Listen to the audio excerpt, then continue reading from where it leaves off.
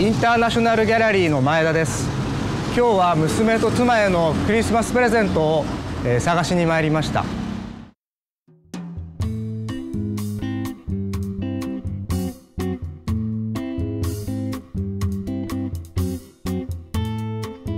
家族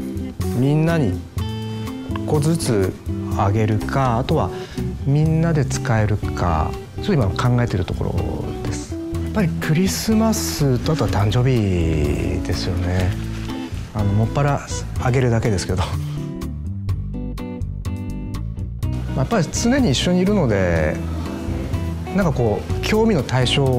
はなんとなく気にしながらあの